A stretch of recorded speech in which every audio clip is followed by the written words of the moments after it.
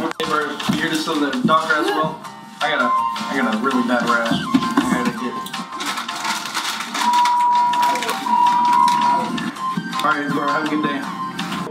Boys, come on. I'll go. Well, yeah, Stop. I don't care.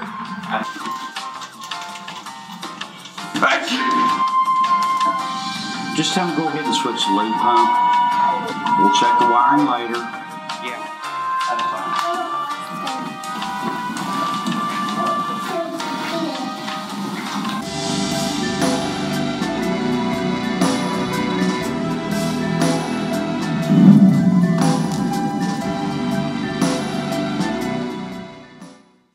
Hey, so I wanted to take a moment to encourage some folks. Our high school interns and, and college interns, from beginning to end, came up with that and made that for us. Can we tell them thank you for what they've done? That's awesome.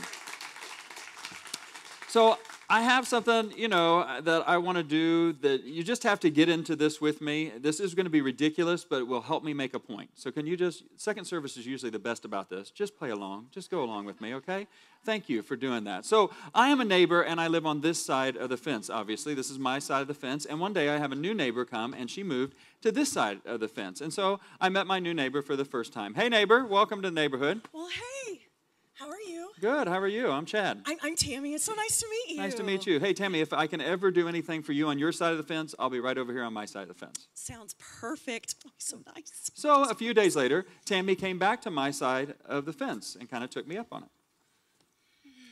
Hey, Tammy, what do you what do you got there? Well, I've got an extra box. You know, I'm moving everything over there, and and I'm just kind of started running out of room. But I noticed you have so much room over here, and everything's so neat and tidy. I like and I it. just didn't even think that you would miss that. So I just it just Yeah. made a lot of sense to just bring that over here. I like Thank it. you. Nice and I remembered what you'd said Yeah. about being there. It was just it just worked out really right. well. Well, that's I mean, but what if what if I'm not here and you need your stuff? How are you going to get your stuff? That may not be. You may want to take your stuff Oh. back to your side yeah, of the fence. Yeah.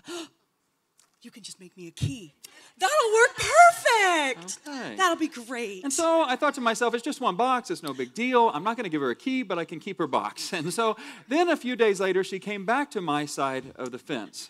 Aw, hi, Deeks. Good what are you doing? What are you doing on my side of the fence? Well, I'm not actually on your side of the fence, but Deeks, Deeks is on your side of the fence, and it looks like he's doing a dookie. Good boy, Deeks.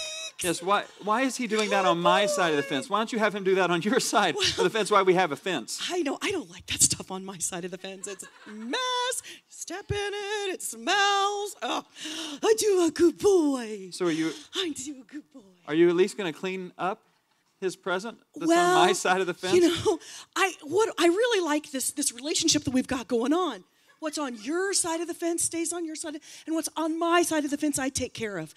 And so since that's on your your side of the fence, you mine. get it. I mean, it just makes sense. Right. Just makes sense. So a box was one thing. This was something else. And so I decided that I would clean it up because that's what you do. I mean, I, that's the Christian thing to do. I don't want to cause waves, don't want to have any friction. And after all, I, I don't have to be happy about it, but I cleaned up the mess. And I would have been okay with that. But then I felt like our, my neighbor went too far because I was taking a nap on the couch when I heard some noise. And I asked, neighbor, what, what, are, you, what are you doing? Oh, don't mind me. I'm just making Thanksgiving dinner. So In my kitchen? Well, your kitchen's pretty awesome. I mean, it's just great. Everything's right here. It works really, really well. My house is a little small. And I'm not expecting a whole lot of people, just about 50 or so. That's as long as Crazy Joe can get away from his crazy wife's family, you know. So if we can get all them together. Hey, by the way, um, does this does this table like extend? Do you have some leaves for it or something to fit all those people? And I'm gonna need some more chairs. Do you have any chairs, basement, attic? I'd be glad to get those. Oh, how rude of me. I can get chairs from my own house, I You know, think. wait, wait. Instead of getting chairs from your house, why don't you have it at your house? Oh, see, my house is so small. It's just so small, and your house is just perfect for this. So I didn't think you'd mind. And and by the way, I think it's gonna be like a lot of people that you don't even know. So I don't want you to feel awkward or anything. So don't feel like you have to come back. Right. Oh, Betty, good to see you. Do you have somebody like that in your life? I hope to God that you do not. But if I was to look at this story and ask you who is the problem in this ridiculous story, my first gut reaction would be obviously Tammy's the problem, right? I mean, she keeps bringing her stuff on my side of the fence. That's a problem. And I think that the reality is we all have people who try to bring their stuff and put it on our side of the fence. Maybe it's maybe it's a coworker who isn't your boss but wants to pretend like she's your boss. And she has a way of kind of undermining you and trying to tell you what to do and put, making you look bad in front of the real boss. And you're like, why can't you? I mean, seriously, there's enough work for both of us. Why can't you focus on your side of the fence? Why do you have to keep bringing stuff on my side of the fence? And it's frustrating and it's irritating. And you sometimes you just want to punch her. But it, what are you supposed to do? You don't want to make waves. You don't want to cause friction. And what are you supposed to do about that? Or maybe it's a passive aggressive family member. Do you have one of those? That family member who, if they weren't blood relative, they wouldn't be coming to your house. Let's just be honest. Just because they're family doesn't mean that you necessarily want to be with them. Okay, don't act like it's just my family. We all have that family member who they come in and they, they, they can say things with a laugh, and yet it's like driving a stake through your heart. You know, like, whoa, my goodness, look at all these dust bunnies. Watch out, everybody. We're going to have some uh, army come and take us away. You know, stab, stab, you know. Like, oh, kids, you should come to my Auntie so and so's house. I can make you a home cooked meal. Bet you wouldn't know what to do with yourself if I did that. Stab, stab, you know what I'm saying?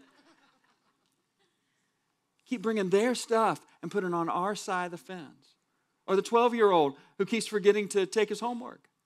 And you've put sticky notes up, you've sent reminders. Your nagging alone should be enough to help that kid never again forget his homework. But every other week, it seems like he's calling frantically from school, and you have to leave work. You run to the house, look through the junk pile called his room, find his homework. You drive to the school. You're upset. He's upset. The teacher's upset. Your boss is upset. Everybody's upset. But what are you supposed to do? Your kid is just a kid, and you don't want him to fail. And so, what do you do with this? Or maybe it's a friend who keeps bringing his stuff to your side of the fence. And you have a friend. You call him a friend for a reason because you have great memories with this guy. This guy was there for you when nobody else was. You have a great friendship together. But now when he calls, you cringe because it's always something. He's always needing something from you. And it's never enough no matter what you give. It's $10 this time, it's 20 bucks the next time. It's can you help me with this the next time? And maybe it wouldn't bother you so much if you didn't see him driving by in his brand new car with a vanity plate that says you owe me. Right? So let me ask you again who's the problem in these stories? I'll tell you what I want to say. I want to say they're the problem. If they would keep their stuff on their side of the fence, if they quit trying to put their responsibilities on my side of the fence, then everybody could be happy. They're the problem. But what if in my relationship, as long as I think the other person is the problem, then I've got a real problem? Because when I think what they do or don't do on their side of the fence, what they do or don't do on my side of the fence is the problem, I have put myself in a no win situation. Why? We said it a few weeks ago. I'm not God. I can't control, I can't change what someone else feels or thinks or does. I can't change what they're going to do on their side, what they're going to try to do on my side. I can't stop that. I can't control that. And when I'm making them out to be the problem, I put myself in a position of powerlessness. I've made myself defeated already as the victim. I'll never stand up. I'll never climb out. I'll never be happy. My relationship can never be healthier if I think the source of the problem is on this side of the fence. And what's crazy is, and it sounds like it's condemning, it sounds like it's uncomfortable, it sounds like it's putting us down, but it's not putting us down. It, this is, can actually free us. When instead of seeing the other person and what they do or don't do on their side of the fence or mine as the problem, I see myself as the problem. In fact, Galatians chapter 6 says this can be very empowering. Think about that. When you see yourself as the problem, that's when you're empowered to not be controlled by what you cannot change. Galatians chapter 6 verses 1 through 10 um, talks about it. Brothers and sisters, if someone is caught in a sin, you who live by spirit should gently restore that person. But watch yourselves, or you also may be tempted. Verse 2 Carry each other's burdens, and in this way you will fulfill the law of Christ. If anyone thinks there are something when they are nothing, they deceive themselves. Each one should test their own actions. Then they can take pride in themselves alone without comparing themselves to someone else, for each one should carry their own load. Nevertheless, the one who receives instruction in the word should share all good things with their instructor. Do not be deceived. God cannot be mocked. A man or woman reaps what they sow. Whoever sows to please their flesh, from the flesh will reap destruction. Whoever sows to please the Spirit, from the Spirit will reap eternal life. Let us not become weary in doing good, for at the proper time we will reap a harvest if we do not give up. Therefore, as we have opportunity, let us do good to all people, especially to those who belong to the family of believers. Healthy boundaries are God's way of empowering me not to be controlled by what I cannot change when I'm no longer trying to fix something that I can't, when I'm no longer trying to take control over someone that I can't, and all of a sudden I say, you know what, the only side of the fence I can take care of is over here, then all of a sudden God begins to empower us to not be controlled by what we cannot change. And it's amazing how that changes us. And it's amazing how even that begins oftentimes to change the relationship and to make it more healthy, more happy, more free. Healthy boundaries empower us not to be controlled by what we cannot change. Because boundaries are like this fence here. In the physical world, we can see the boundaries. The fence shows us where your property begins and ends and where my property begins and ends. Signs like keep off the grass or speed limit 35 miles per hour. Those boundaries, we can see them. We can say, okay, I, I, whether I accept them or reject them, I can see them. I know what they are boundaries like walls and, and doors. Those show us where you belong and where I don't belong, and, and it helps us see where your space begins and ends. But when it comes to spiritual things, when it comes to relational boundaries, we can't see them. But that doesn't mean they're not as real as this fence that we can see. And in Galatians chapter 6, it talks about one of those unseen boundaries of God that God has created as a natural law in our world. And when we live within these boundaries, we find them incredibly empowering. When we try to rebel against these boundaries, we find them incredibly restrictive. But Paul says this is the law of sowing and reaping. What you sow on your side of the fence, you will reap. Whether it's sowing according to selfishness and that you reap destruction, or sowing according to other centered love of God and others, and then you reap eternal life that begins now and lasts forever, you will reap what you sow. And that's no one else's responsibility. I'm responsible for what I sow on this side of the fence, no matter what anybody else has done to me or not done to me, even if it was downright evil, that doesn't make it right. But what I choose to let grow on my side, even if I didn't plant it there, is on me. I'll reap that.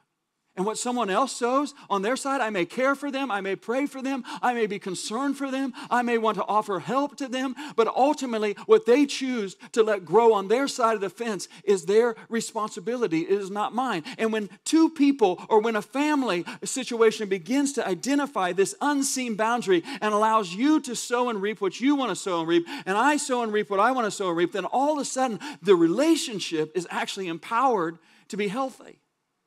And the next thing I know, instead of the passive aggressive family member coming to me and me seething and stewing and uh, getting all frustrated and stressing out even before they come and then fuming for days after they've left, then what can happen? I can say this listen, okay, I'm not going to allow that to affect me. I'm not, I know what she's going to do. I know what he's going to say. I know how he's going to act. I know how that stirs me up, but I'm not going to receive that. They can plant that on my side, but I'm going to dig it up and I'm not going to live with it on my side. I'm going to put it there. And maybe I can just do it internally.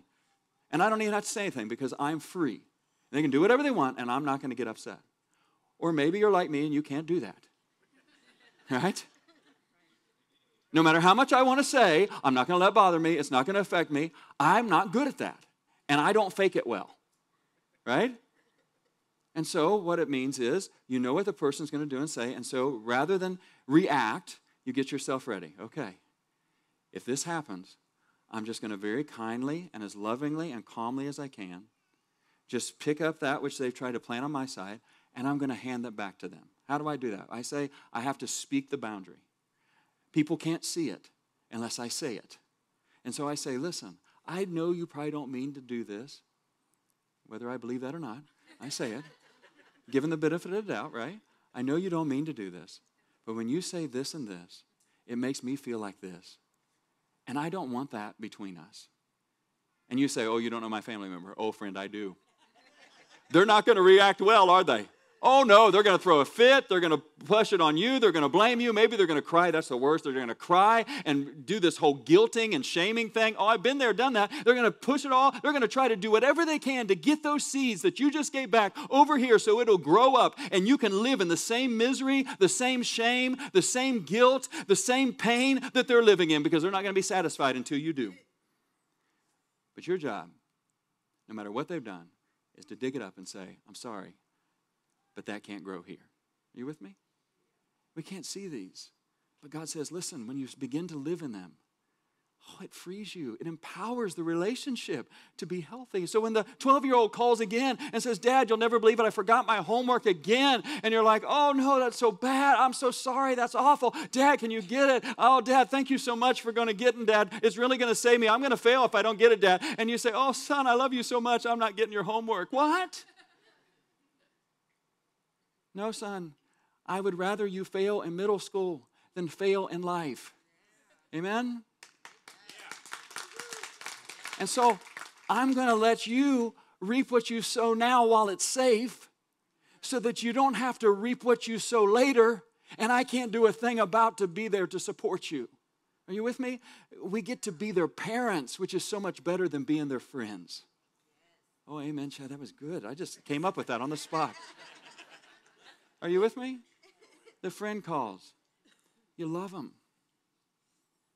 And you want to do the Christian thing. And it's confusing because he doesn't have. I mean, he has everything he needs to for everything he wants, but he never has enough money for he needs. But you have the extra money and you feel bad not giving it to your best friend for all these years. And when you're, but yet all of a sudden you realize, wait a minute, he always has his wants, he doesn't have his needs. Maybe I'm not helping. Maybe I'm actually hurting him. And maybe if I love my friend as much as I say I do, the best thing I could do is say, I can't help you with that today.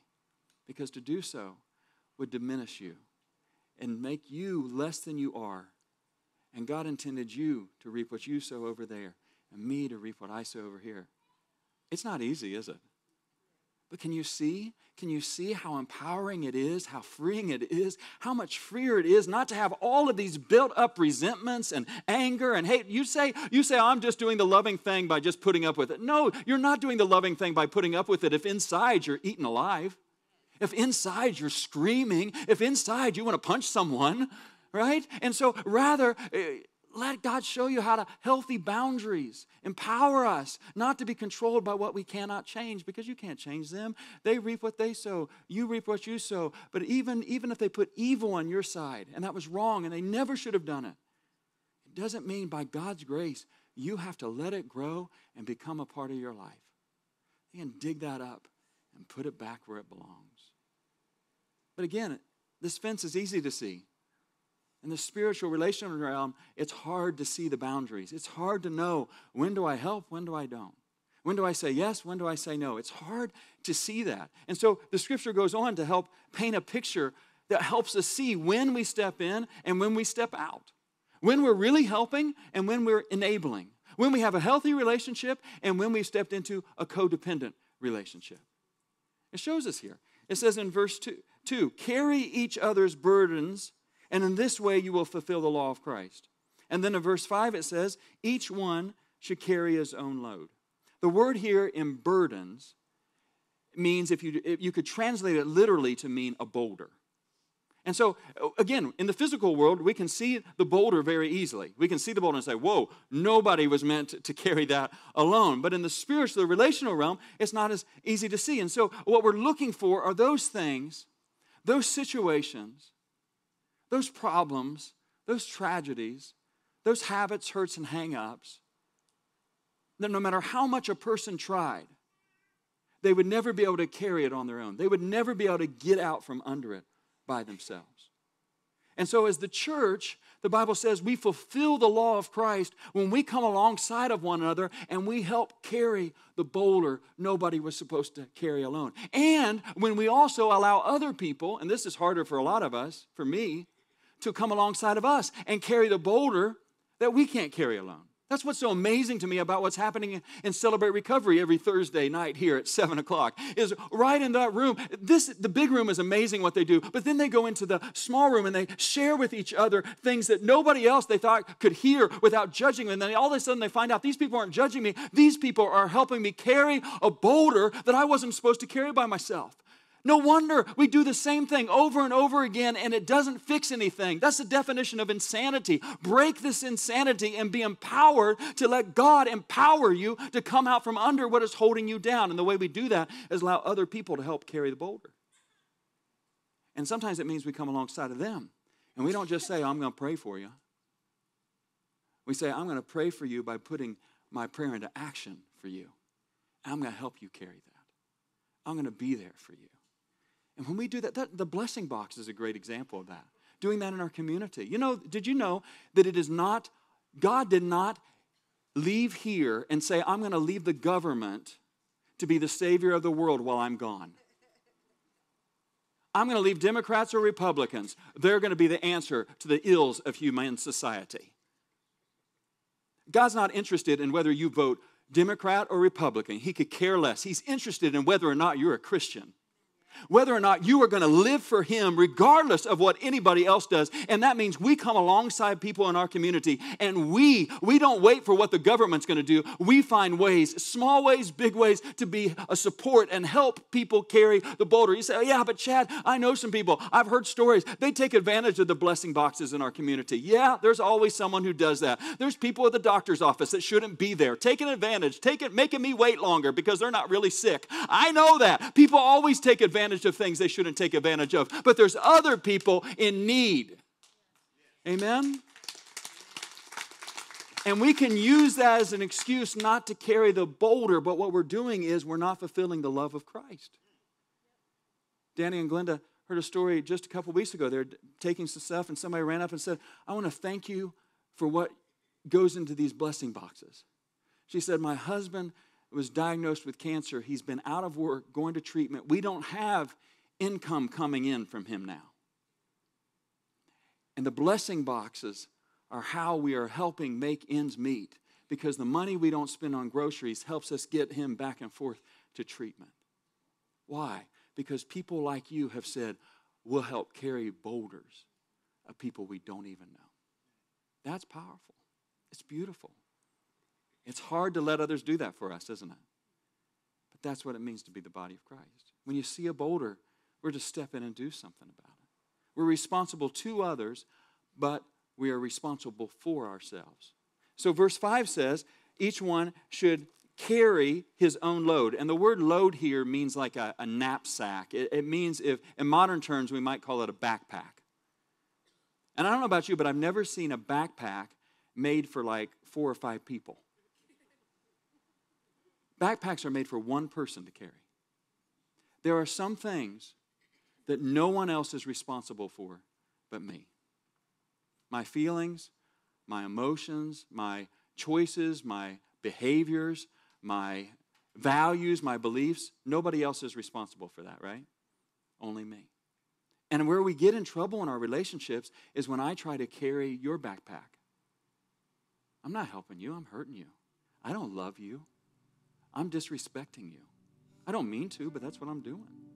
And when someone tries to carry my backpack, they're not loving me. They may mean well, but really, they're devaluing me. They're diminishing me. They're making me less than. I remember when Kimberly and I uh, were dating. Uh, she, uh, it was we were we were starting to get kind of serious, but not like so much so that we had kind of had any official talk about where this was going or what this meant. And so uh, one day I, I saw her and, I, and she was saying, Hey, this weekend I'm going to go up and see my family up in Akron. And I said, Oh, cool. And, and she said, Yeah. And I got in touch with an old friend and I'm going to um, go and, and that person, we're going to go out to lunch and, or dinner or something. I said, Oh, cool. What's her name? And she said, Oh, it's not a her, it's a him. And I thought, Oh, well, that's nice. A him. Said, What's his name? And she said, Well, his name is such and such. And I said, Well, yeah, hey, guys going to just, yeah. She said, going to coffee? No, no, he's taking me to a really nice place. And she named the place. And I'm like, Whoa, that's a nice place to catch up with him on college memories. And she said, Yeah, he was the nicest guy in college. We, we were just friends, you know, a really good guy. And, and she said, You know, he played for Kent State. He played football for Kent State. I said, Oh, that's awesome. Good. That's great. She said, Crazy thing. You would never believe it. He went on to play for the NFL. Hallelujah.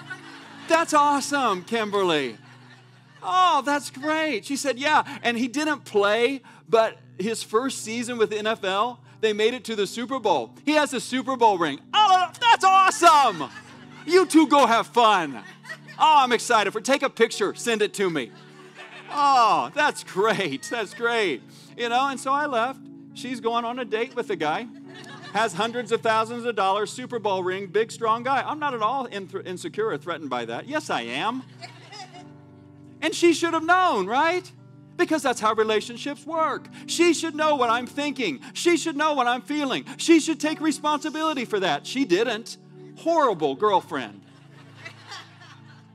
And all week long, I'm seething and I'm stewing, and I'm like, oh, I don't want to be that guy. I don't want to be this jealous jerk. I don't want to be like this, but I am. Apparently, I am because I'm not okay with this. And how can she be okay with this? How can she be okay with a guy asking her out? Yes, she says they're just friends. Does he think that too? Does he know that too? I'm telling you, I know how guys think. That's not what he's thinking. And all week long, I'm stewing, it, but I don't say anything because I keep thinking I'm giving signals, I'm giving hints, but she's not getting it. She refused. Can you believe this? She refused to take responsibility for my backpack. So, you know what I eventually had to do? I had to take responsibility for my backpack. And I remember it was Thursday night. She, the next day, she was going to go to work, and then she was going to leave straight from work. And so I said, "Hey, Kimberly, uh, what are you doing here, Chad? Oh, I just got to. I wanted to talk about your trip. Oh, yeah, I can't wait to see Grandma and Grandpa, Mom and Dad. And I said, "Yeah, and so and so." And she said, "Yeah, so and so." And I said, "You know, Kimberly, can you ask me how many times I've asked an attractive young woman out just to catch up on college memories? Can you ask me that? And she said, What are you talking about? And I said, Kimberly, he's asked you out on a date. And she said, Oh, no, no, we're just friends. It's nothing. And I said, Well, I'm sorry. She said, Does this bother you? I said, Yep, it does. There, I said it. I'm the jerk. I'm jealous. Uh, you call it whatever you want, but I said it. And she said, This really bothers you. I said, Yeah. She said, I don't have any feeling. I said, I know you don't, but I don't know that he doesn't. And she said, Are you telling me that you don't want me to go? I said, Nope, nope, I'm not going there. I'm not telling you to do anything. I don't have any say. I don't have any right. I'm just saying that I don't feel good about this because I thought our relationship was turning out to be something more than this, and I don't feel good about you being with another guy and I alone. And I just, I'm sorry, I don't. And she, and she, uh, she's like, well, I'll, I'll cancel it. It's no big deal, right? And it sounds like a silly example, but it's this little stuff in our relationships that go unspoken, where boundaries go unspoken. And then it builds, doesn't it? And it grows.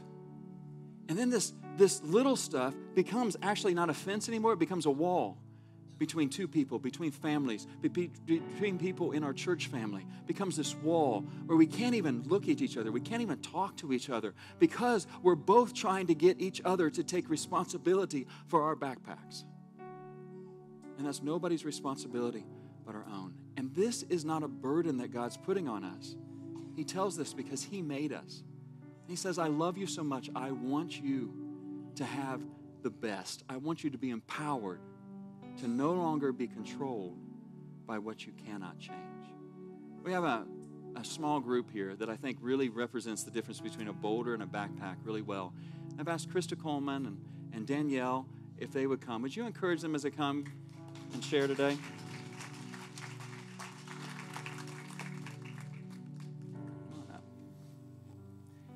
As they're coming, um, back about right after I first arrived here, Dan, uh, Krista had shared that uh, she had heard of a ministry called Embrace Grace that helps um, single moms be able to feel the love of God and the support of the church family. And so, Krista, would you just share what sum up Embrace Grace and why it's so important to you that we start that here?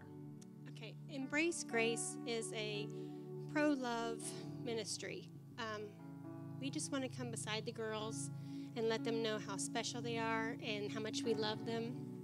Um, many churches um, they support life, but they don't, and, and they they discourage abortion, but they don't have a program set up, and so the girls leave um, discouraged and alone and scared for the next nine months. And we just want to come behind them and let them know how much we love them and appreciate them and how much we just want to help them and shower them with love. Cool. So, Danielle, if you don't mind sharing, how did you hear about this and why did you decide to become a part of Embrace Grace, you and Blakely? Well, Krista, Krista texted me and she was like, I'm starting this group and I'd really love it if you could come. And I was like, okay. Like, I didn't really know exactly what it was, but um, we showed up and it was just an overwhelming amount of love and support for me and Blakely. And then to learn that this was like God centered was just mind blowing because you you think like I've done I've wrecked God's plan. I got pregnant. I just there's no way that this is right. He's not going to love me. And then they're just like he does and it's okay. Everything's fine. And what has that meant to you? Now you've been in this group about two months. What what is what are something that stood out or something that you feel like has been encouraging to you? Well, when you get pregnant, I was 17 when I found out I was pregnant, and um, I was very afraid, and I was not happy. I mean, I just it wasn't planned, and then um, I was like, well, what in the what are people going to say? Like, I'm not happy that I'm having a baby, the greatest gift.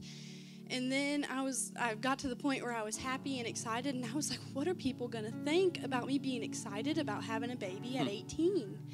And then you get to embrace grace, and you, there's girls talking to you, and they're like, we were, we were in the same spot. Everything that you're feeling, we felt it too, and that's normal. Yeah. And it was just very supportive and calm, cleared everything up. Yeah.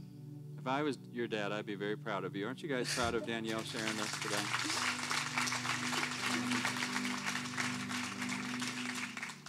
And look at Blakely. Is she not beautiful? Yeah. Krista, uh, um, what do you, you do have a way that we as a church family can come alongside and support Danielle and the other who are in the group. Talk to us about that. Well, the number one thing is we could really use your prayers. Um, it's a lot for these girls to undertake, and we just really want God to soften their hearts and draw them um, close to Him, um, and pray for the leaders that we say and do the right thing. Um, but also, um, part of the draw for Embrace Grace is we have a big baby shower for them. We want them to, we just want to shower them with love, that they will feel God's love and support. And um, if we promise them a baby shower, there's a higher incidence that we'll get these girls, and um, just to draw them close to God. So we plan this big baby shower, and we would love if anyone would like to come. It's this Tuesday, I'm sorry, not this Tuesday, but November 20th at 7 p.m. at First Christian Church. Uh, First Christian Church partnered with us. Isn't that awesome that we have another church in the town that's working with us and us with them? Yeah. Um, anyway, we're having it at 7 o'clock on the, the 20th, and uh, we would like to invite anyone who would like to come, whether you bring something or, or not. Um, we have um, gifts or um, invitations out there. That there's a RSVP. If you could just let us know if you're coming, and um, we can get you the gift list. Or if you just want to make a cash donation, that's great too. But it would be wonderful for everyone to come and just support these girls and just show them God's love. That's awesome. So, in the back at the welcome table, there's a um, wrapped box, Yes, and they can put a don- financial donation in there, yes, or they can get the RSVP um, invitation that the greeters are going to pass out as they leave, yes. and they can come to that. They can call you all, and you'll tell them about the gift, and they can. Wouldn't it be cool if we just had all kinds of folks show up to that baby shower and just show them that we are for them and we celebrate them? Wouldn't that be awesome? Yeah, that would be awesome. So let me um, let's pray. Let's pray for Danielle and Blakely, and Krista. Heavenly Father God, we thank you so much. Lord, it is exciting to see that your church family here doesn't wait until we as a church say, yeah, that's going to be an official ministry of Crosspoint. But they understand that we all have a ministry we're called to, and Krista has gone after this. And she and Janet White from First Christian Church, they have gone after this and they said, let's see what happens. Let's see what we can do with this. And I thank you for putting that on their heart, and I pray you would encourage them and strengthen them as they lead and as they raise up other leaders for this. And then together, Lord, we thank you so much for Blakely and for Danielle.